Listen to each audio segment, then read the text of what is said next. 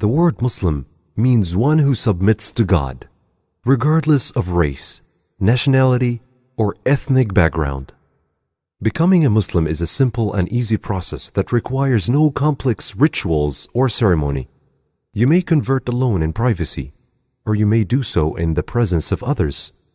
The actual act of accepting Islam is between you and your Creator. If anyone has a genuine desire and has full conviction and strong belief that Islam is the true religion of God, then all one needs to do is pronounce the Shahada, the testimony of faith, without delay. With the pronunciation of this testimony, or Shahada, with sincere belief and conviction, one enters the fold of Islam.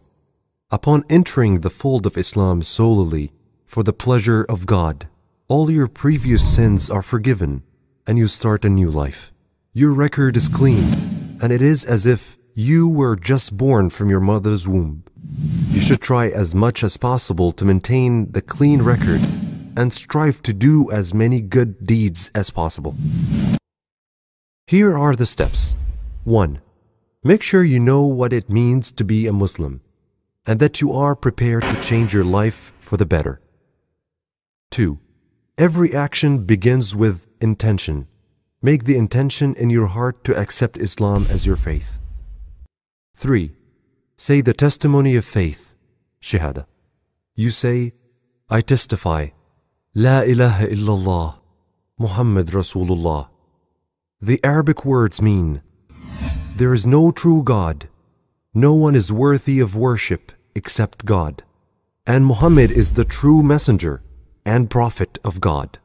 Once you say these words with conviction and understanding, you become a Muslim in the sight of God. 4. Take a shower if you can. It symbolically cleanses you from your past life. 5.